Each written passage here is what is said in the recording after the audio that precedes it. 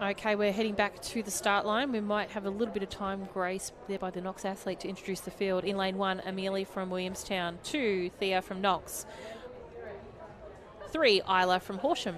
Four, Summer from Ballarat. Five, Celeste from mark. Coburg. Six, Monique from Box Hill. Seven, Harley from Seaford. And in lane eight, Jamison from Doncaster. Eight starters in the second time final of the under 13 girls.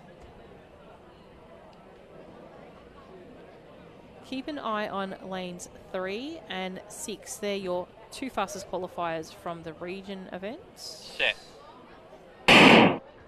Nice clean start for the athletes here in this second time final of the under 13 girls. Attacking the hurdles really well in the first stages of this particular event.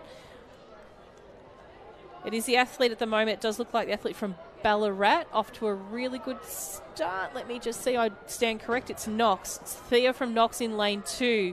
Horsham Isla in lane three, but also a bit of a late charge by the athlete out in lane eight, Jameson from Doncaster. It's going to be the Knox athlete taking the line first, and then Celeste from Coburg. Really great finish there from Coburg, and then Jamison from Doncaster in third. Unofficial time for first, 31.34.